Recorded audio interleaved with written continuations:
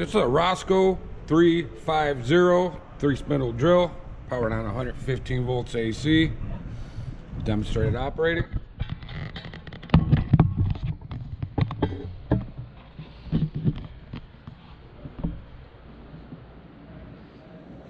Turn it on here to the right. Hold on on the lever.